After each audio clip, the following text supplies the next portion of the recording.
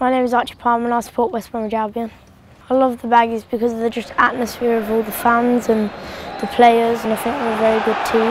We have a good chance of beating any team in the whole world to be honest.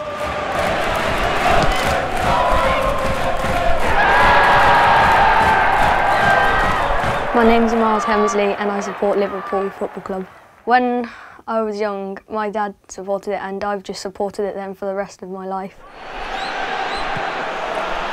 I've seen them quite a lot of times at Anfield and then today. I used to live in a different area from here and the first time we moved here we looked at a few schools.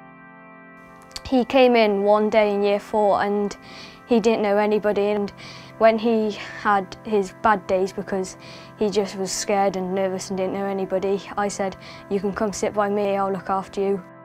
We have been having our falling out days, but we've never not been friends. There's one thing that we do agree on, Liverpool's the better team. I think we'll have to rearrange that, Myles. In November last year, I got diagnosed with leukemia.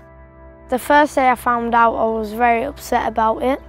Um, I didn't really know what to do. My mum came and picked me up from school that day and when I told her, me and my mum both fought at that very point to try and do something for him.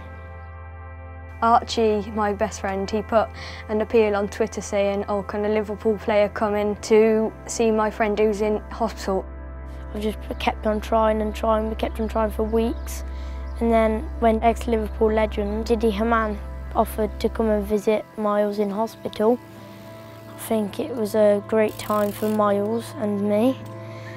My dad was like, oh, here's a friend, Didi And I was like, who? And then he came in and he was like, this person was a magical player for Liverpool. I was like, oh. Then everything just happened and I was getting video messages from everybody and then Jordan Henderson came along and sent a video message. When you get a little better you can come and meet us, you'll never walk alone. See you soon mate. And then it just went wild and I've had non-stop messages and surprises.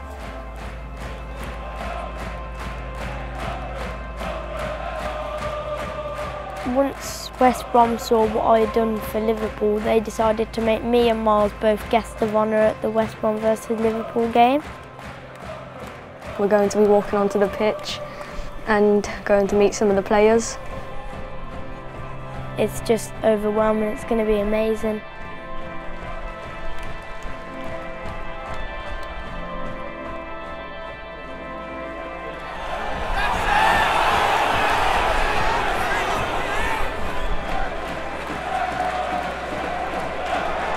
I think it's got him through most of his tough times while he's been while he's having his chemo.